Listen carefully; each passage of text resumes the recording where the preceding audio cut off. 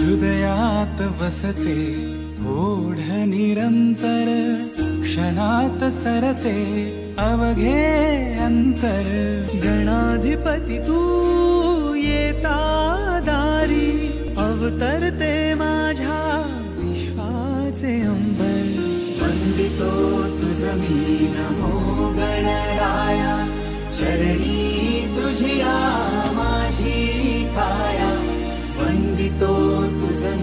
नमो गणराया चरणी तुझिया माझी